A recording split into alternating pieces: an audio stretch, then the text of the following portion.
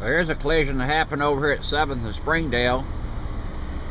Somebody picked up a collision rotation, but they didn't clean up the goddamn debris from the crash. The license plate number on that bumper is Charles Tom Zero for Tom Charles Tom Zebra 4269. To leave that shit on the side of the road and not pick it up, it's just proof that APD lets these tow companies get away with doing nothing. It's total bullshit.